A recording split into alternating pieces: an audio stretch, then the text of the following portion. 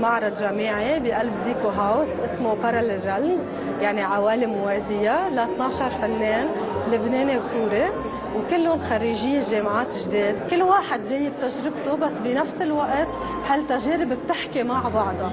من عبر Arneli Art Gallery أنا كان حلمي إني ساعد كل الفنانين اللي تخرجوا جديد من الجامعة وما عندهم هيدا المنبر اللي بيقدروا عبره إنهم يلمعوا. أنا كان حلمي إني ساعدهم.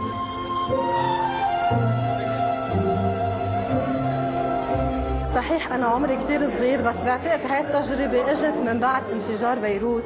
أنا كنت أشتغل بجاليري وبعد الانفجار انتبهت أكثر قد إيه الحياة فيها تكون قصيرة.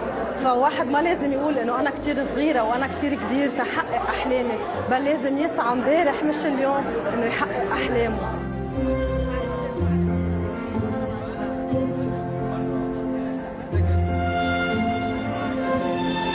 المعرض انعمل مع فنانين مبتدئين. اشتغلنا على آه، آه، ثلاث مواضيع.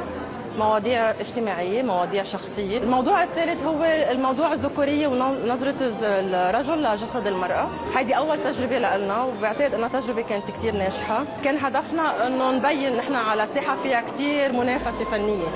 فيها احتكار لجاليريز كثير كبار. وبدنا نبين وبدنا نعمل شيء. معظمهم من الجامعة اللبنانية ونحن أكيد بنشجع الجامعة اللبنانية وبندعمها 100%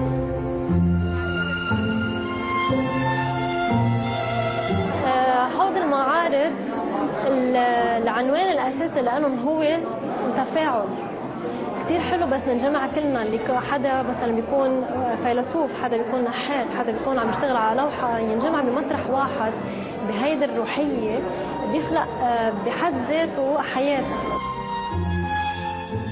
اشتغلت عن الأماكن المهجورة كيف تتسلى لها طبيعة بشكل عبثي تولد الحياة فيها من جديد.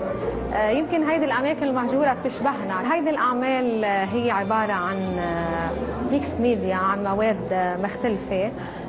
رحت على أماكن مهجورة زرتها. جمعت مواد عمرها ب 80 و 100 سنة.